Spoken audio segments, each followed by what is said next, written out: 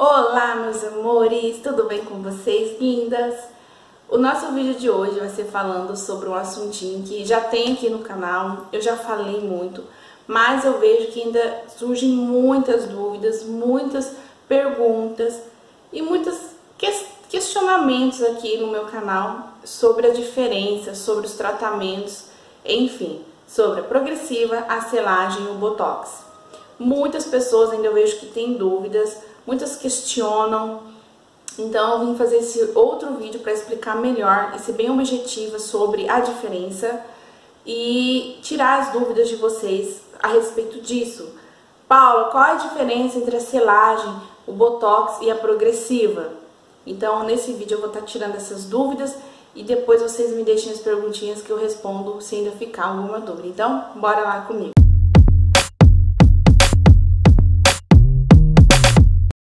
Bom, meninas, esse assunto é bem polêmico, né? Muitas pessoas têm dúvidas, outras criticam, enfim. Tudo surgiu, é, esse questionamento todo surge muito em cima daquele vídeo que eu postei sobre a selagem térmica caseira. Depois, no final do vídeo, eu vou falar sobre ela, tá aqui, é só você conferir lá depois, tá? E eu vi que tem muitas dúvidas ainda, já fiz um vídeo aqui no canal, mas ainda fica muitas dúvidas. Então, resolvi gravar esse outro vídeo para ser bem objetiva e falar a verdade para vocês, a realidade e a diferença entre cada um. A progressiva, gente, era um produto, um tratamento que era para se alisar devagar, não de uma vez só, né? Tanto que as primeiras progressivas que eu fiz, eu peguei cabelos assim, cabelos super cacheados, com aqueles cachos bem definidos, bem bonitos, e a pessoa queria alisar, né? E os primeiros resultados com a progressiva era aquele cacho mais solto, aquele cacho mais ondulado, não ficava liso, gente. Há 10 anos atrás ainda não existia progressiva que deixava um cabelo liso na primeira aplicação. Hoje em dia, já a primeira vez que você passa a progressiva, o cabelo já fica liso e escorrido.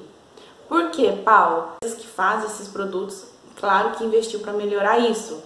Mas o nome já dizia, né? Progressivo, que era para se alisar devagar. Não, agora de uma vez só. Então o nome já não é que bate muito com isso. E hoje em dia já alisa numa vez só, né? Você fez lá progressivo já ficou lisinho.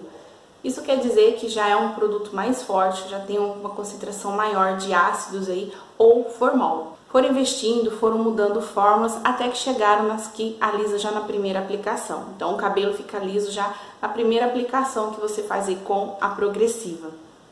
Essa é a progressiva, gente. Aqui alisa aqui deixa o cabelo alinhado, que deixa o cabelo sem frizz, que dá aquela ilusão do cabelo espelhado, perfeito e bonito, né? A progressiva. Muitas mulheres não vivem sem mais hoje.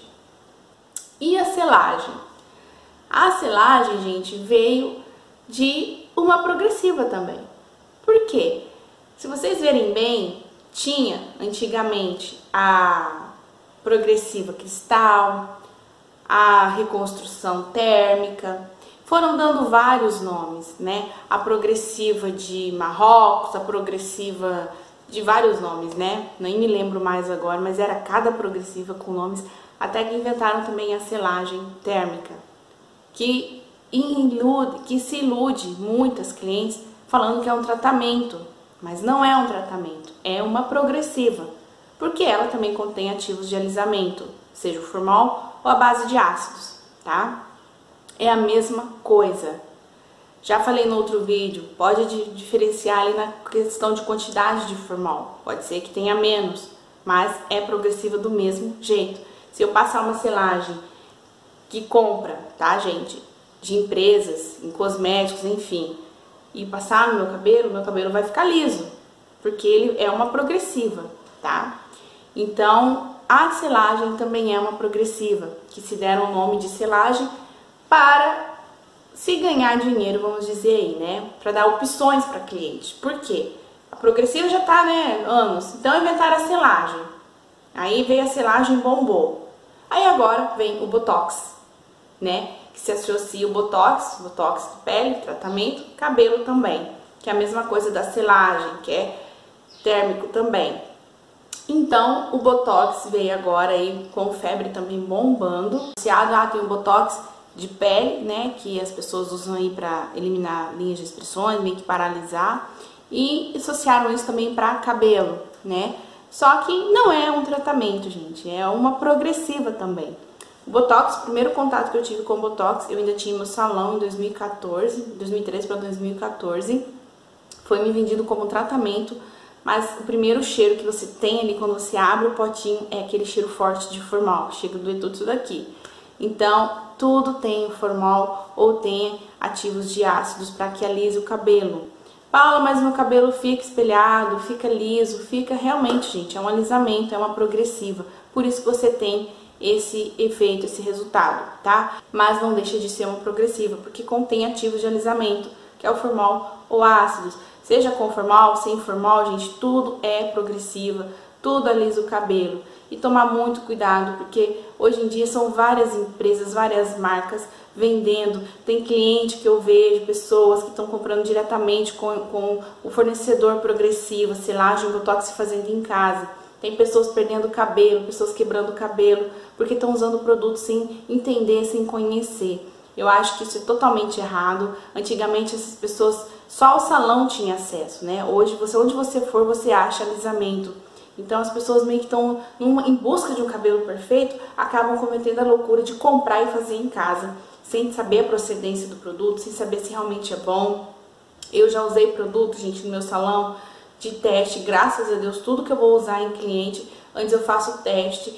Era uma progressiva para cabelo loiro, até isso já inventaram, tá? Para cabelo loiro, que deixava o cabelo perfeito. No teste, o cabelo da cliente quebrou todinho e ficou laranja. Então, tem que tomar muito cuidado, porque se você pegar qualquer produto que você vê, ah, é ótimo, seu cabelo vai ficar lisinho, você vai, a pessoa faz a sua cabeça, né? Porque ela quer vender, ela quer vender o produto dela. Ela não está interessada se o seu cabelo é bom, se o seu cabelo não é, se o produto é bom. Ela quer vender o produto dela. Infelizmente, tem muitas pessoas assim hoje no mercado. E você compra o produto dela e vai passar diretamente no seu cabelo, confiando apenas, apenas nela, na palavra dela, você pode correr o risco de ficar sem cabelo. Seu cabelo pode quebrar, seu cabelo pode cair, e se for loiro pode ficar laranja, acabar com o seu cabelo. Então tomem cuidado, gente, com esses produtos. Não compre, vai no salão, procure um profissional da sua confiança, se oriente certinho com ele. Se você quer fazer um alisamento à base de formal, à base de ácido sem formal, se informe certinho com o seu profissional e faça num salão, não faça em casa. Se bem que hoje aqui na internet, no YouTube, a gente tem várias receitas de, de tratamentos de alisamento caseiro que não contém nada que agride o fio, apenas tratamento. É onde entra o vídeo que eu falei para vocês aqui da selagem térmica caseira. Tem milhões de pessoas lá falando que é tem formal sim, que é química sim. Gente, é só vocês olharem certinho.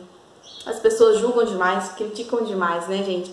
Lá na receitinha eu apenas ensino a usar com a máscara e a queratina, tá? e, você, e não tem formal, não tem nada. É um tratamento, gente. Aquilo lá é um tratamento caseiro. Que a gente deu o nome de selagem porque você vai selar o fio com aquele produto. Essa selagem sim é um tratamento. É a, real, a verdadeira selagem, né? Térmica que a gente fala. Mas é uma selagem de tratamento. Não tem formal, não tem ácidos, não tem nada. É um tratamento que você vai ter um resultado. Quanto mais você for fazer, melhor o resultado. Mas lembrando que não é só uma selagem que você vai estar tá fazendo no seu cabelo. Se o seu cabelo está super danificado, se o seu cabelo está com muito frizz, seu cabelo está quebradiço, você tem que fazer um cronograma capilar para o seu cabelo.